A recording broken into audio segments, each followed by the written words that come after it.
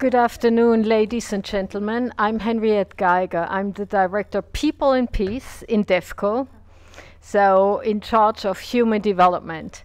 And uh, we, are, um, we are having a very broad spectrum in our directorate, ranging from crisis fragility, resilience building, to human rights, good governance, uh, anti-corruption, uh, to employment, uh, social protection, migration, also education, health, culture, and security, including nuclear safety.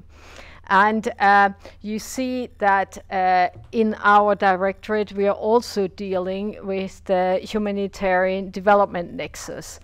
That's uh, why we're here, and we're dealing, of course, with the key question of how to integrate social or how to use social protection schemes in a crisis context. So um, I'm very happy that you're interested in that key question, and I welcome UNICEF as our collaborative partner of the event, but also of the whole exercise and our experts, of course, and I would like to thank them for their valuable input and their contribution to the guidance package. And of course, our colleagues from international partners, ILO, UNHCR, civil society, research, and our colleagues from DG Employment, ECHO, NEAR, and of course our own house. I would like to provide you with a very brief overview of the forthcoming guidance document on shock-sensitive social protection related to the nexus and of our experience in DEVCO.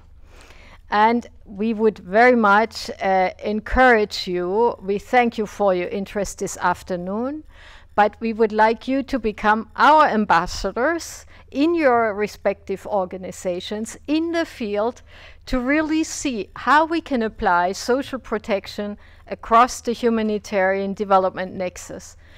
This, um, this event was also supposed to be live streamed, but for technical difficulties, we're only videotaping this, and it's supposed to be made available to many delegations uh, around the world who have registered for this as a live stream event.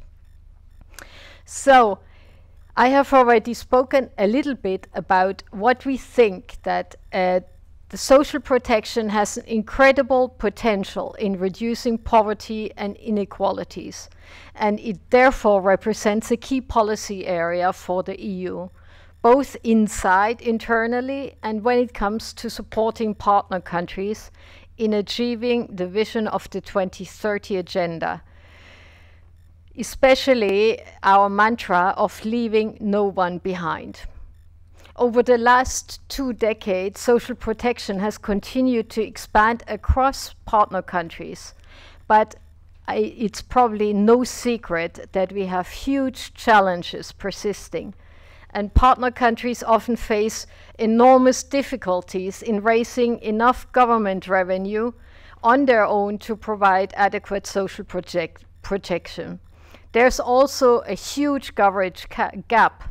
The ILO World Social Protection Report uh, 17 to 19 sadly confirms that only 45% of the world's population are effectively protected by social protection system by at least one type of social protection benefit. In the poorest countries, this holds only true for one in five poor people. In this respect, the European Union has largely focused its support to partner countries on social assistance and social inclusion. In DEVCO, we are increasingly operating in fragile environments so that development action has come closer to humanitarian action and as well to foreign and security policy considerations. And we see this trend likely to continue. Moving from linking relief, rehabilitation and development to humanitarian and development joint frameworks, we are now working within a broader humanitarian development peace nexus. You know that the peace nexus was only added in the council uh, last year, and we're still trying to integrate it. But we feel that whether it was or not added to the to our term, in the contexts where we operate, security issues are always a concern. So uh, whether we want or not, we, we better acknowledge that this is influencing and impacting what we do. So this nexus is all about better coordination, but it's also about jointly assessing the situation to understand better the fragilities and their root causes. So we can have a better, more targeted support. This broader nexus approach po poses also many challenges for the action involved, as we all have different mandates and different ways of working.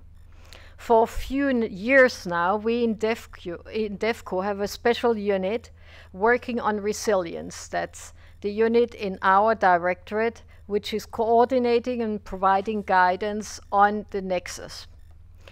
For DEVCO, the longer term programming horizons in our development corporations are simply not flexible enough to adequately respond to fragilities and resilience. More than a question of our partners' resilience, it's also about the resilience of our development investments. In an ever changing world, our efforts must be therefore more future proof and this is one of the reasons why we have increased the coordination of our policies and aid instruments across our development and humanitarian action. In the fragile contexts, recurring shocks and stresses affect a large share of the population and put considerable strain on or overwhelm already the nascent and inadequate delivery systems. We have all seen that, and we see that time again and again. And in situations of crisis, mostly donor funded NGO humanitarian assistance fill the gap. But experience from a growing number of fragile and conflict affected countries is showing that social protection has considerable potential to support the recovery, resilience and livelihoods among the people who are most affected. I'm sure you will hear this afternoon several examples of where this has already been applied. And of course, we want to build together with you that body of knowledge and make it available for cross learning of all of us. We want that social protection is a topic that is on the top of our agenda. And social protection needs to be a very integral part of our Nexus work. So today we will provide you with an insight into the guidance package and some of the technical notes, which will complement the recently published joint DEVCO ECONIR reference docu document, which is available to you. Likewise, you can witness good Commission practices on how this materializes. A last remark. The guidance package is a quite atypical European Commission's in-house and cross-service initiative. In addition to the highly committed individual colleagues in each DG, it is also required to have quite substantial expert support and we received, of course, the support uh, from the Methodological Knowledge Sharing Support Program. So very thank, uh, very thank you for this. And um, which is a DEVCO knowledge sharing provider. And uh, we want to um, we want to make you all part of this extended team of professional expertise to widen the, what we have already done. What we have done is a good basis, but it's only as good as you make it. So the ball is in your hand. We want you to run with it, develop it further, and make it come alive. So all the theoretical work that we put together is to no avail if we cannot apply it. And we have to make the case that it works. We have to collect concrete results from the ground and feed that into the debate and let our colleagues know that it works. And like that, we can come to a more comprehensive use of that and a more integrated use. And also, we need to convince our partner countries. Without them, we can preach and, and, and do whatever we want. If they don't see the practical value and if we don't help them to come up with systems to finance this in the long term, with DRM, domestic resource mobilization, we will not be able to have a sustainable, uh, a sustainable usage. So these are all bigger questions that I hope we can explore this afternoon. But as I said, it's only the beginning of the process, and we invite you all to help us to enhance and improve uh, our knowledge base. Thank you.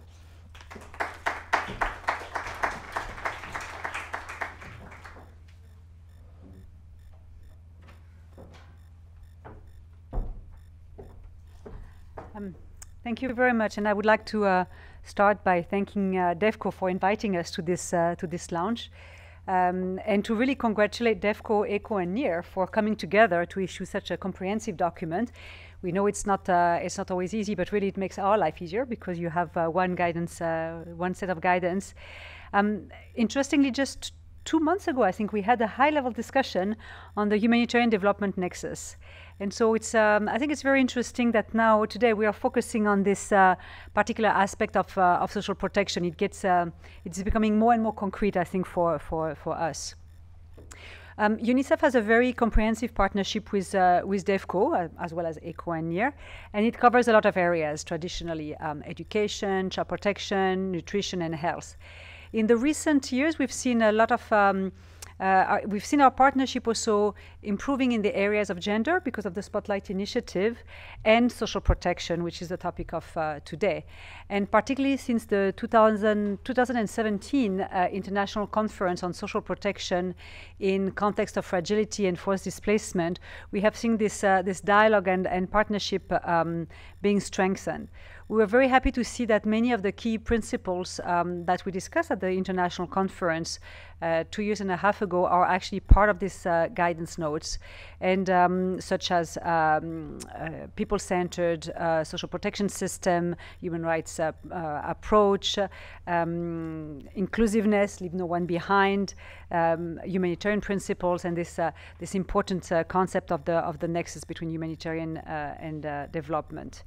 And uh, indeed, in practice, because we're also a very pragmatic organization, we've seen that um, our, our dialogue has been translated into some very concrete initiatives uh, on the on the ground, and I'm glad we will have uh, the opportunity to to listen to some of our colleagues.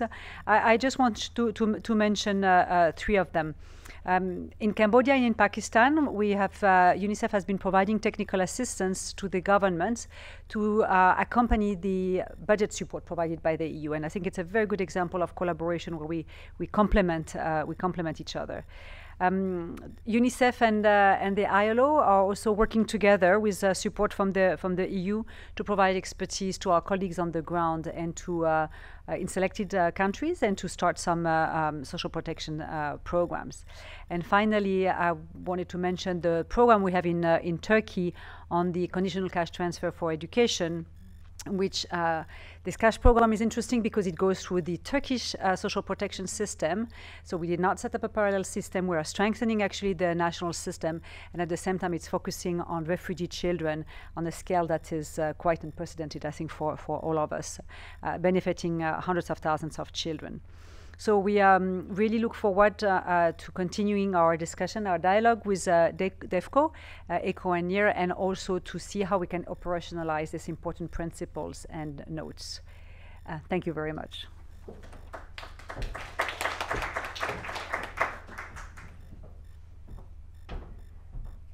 And finally, before we get to the meat of, uh, of the discussions uh, today, um, Good afternoon, everyone. I know a lot of the people in the room, many UNICEF colleagues, but uh, quite a few folks I don't know. I'm Alexandra Yuster from, from UNICEF uh, New York.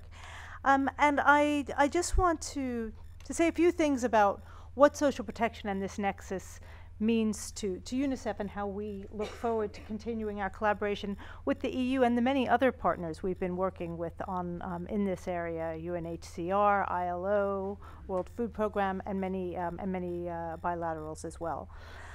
For UNICEF, social protection has become a really major area of operation. It wasn't 15 years ago. Today it is. UNICEF is active in social protection in well over 100 countries. UNICEF has also always been known for its humanitarian role since, since its birth um, in, in 1947, but really since then and actually more recently, it has actually been our largest area um, of growth. And sadly, and as we all know, this is not an area which is going to go away for any of us, um, for, for all partners um, working, um, working on, on human rights and, and development. So with with those those facts in, in mind, for us it's quite obvious the need to to make sure that social protection is fit for purpose and fit for the purpose of the world today, which means you don't know when you're going to have hundreds of thousands of people pouring over your border. You don't know when climate emergency is going to come home to your country and things are going to change and you're going to rapidly need to support many additional, um, many additional people. Um, we know that the crises that are there have been there for a long time as well. That protracted crisis will continue to be a, a reality. It, it, it, simply doesn't make sense. It's like a luxury we can't afford to to work with um, to work in a, in silos and to say, oh well, we're just going to do this in development, and now we're going to respond to the emergency. But you all know this. I'm I'm preaching to the to the converted here. Um, we we also um, we've been honored to have the opportunity to think through really how we do this together with many partners and especially with the EU. And it was that thinking through that led to the decision to hold um, to hold the international conference here with uh, with the EU together with many other partners in um, in 2017 we see this guidance that uh, first came out, I think it's in February, is that right? Um, as a really clear example of the EU's commitment and carrying on the results of that conference. And by the way, the reason I got up during, uh, while Sandie was speaking was because I had forgotten to bring this up, and I wanted to. Remind everyone who doesn't have a copy of this, I'm not sure if there are any more left out there, but I put a few copies out. This is the outcome document from that meeting short and sweet and saying, here's what we need to do. Here's what we know, and here's what we need to do to make sure that social protection is fit for responding. Social protection systems can respond in situations of fragility and, um, and forced displacement. The SPAN guidance is a, a wonderful example of taking that three, four, five steps forward. So what does that actually mean in practice? What can countries do? What can partners do to make, um, to make a real difference? Um, and we absolutely believe that this guidance will serve not only the EU and EU delegations, but all partners working in social protection. And one of the things that, that really, um, one of the nice things about working in social protection is we really do work together very well as partners. Um, and we have, and I was glad to see that the, the guidance is located on a common platform that we all use, socialprotection.org. Anybody can get a hold of it and, and get, that, um, get that information um, uh, to, to use for their work, um, including, including counterparts, getting quick access um, to it. For UNICEF, what I can say is having, having been very much a part of the consultative process in which the, the document was, was developed, um, and my colleagues involved in that are, are, are sitting, uh, are sitting here, we are very confident in the quality and the value and the basis of everything that is written in that guidance document. And so you can be assured that that document will form the basis for UNICEF country offices understanding and continued work and collaboration with the EU and with other partners on the area of social protection in these, um, in these crisis contexts, something that we will be doing more and more because UNICEF is absolutely committed to it. UNICEF globally, our strategic plan, has committed us to helping countries to improve social protection to be able to respond um, to crisis situations. So every UNICEF colleague in this room is working on that in one way, um, in one way or another, and looks forward to working with with all of you, those in the room and those per who might uh, perhaps hear this um, on on a recording um, later on. Um, we are, uh, we quite specifically in, in the collaboration that we have going on um, now in the, the new uh, social protection action um, program of, um, of the EU, which is providing support to, to UNICEF and the ILO to work together in eight countries. Um, it will also be a, a part of, um, of, that, uh, of that work. we recognize, of course, and I, I think it's important to emphasize that it, it's not all clear sailing ahead. Um, there are a lot of challenges that we all continue to face in bridging, um, in bridging this gap. Um, and part of it comes from the fact that within our very own institutions, UNICEF at least as much as the EU and all the rest of the world, we talk about bridging the nexus, but we have two separate architectures. So I think that's something that we all need to work on. How can we bring this together? How can we make understand social protection as, as part and parcel and a con contribution to humanitarian response and not something separate um, and, and apart or only to be, uh, to be dealt with um, later. But meanwhile, we have, we have this guidance, we have this excellent set of technical notes which can take us all further on telling that story, on helping partners to address social protection in ways that will make it a tangible tool to address fragility, forced displacement, protracted conflict, and the many challenges ahead of us. Thank you very much.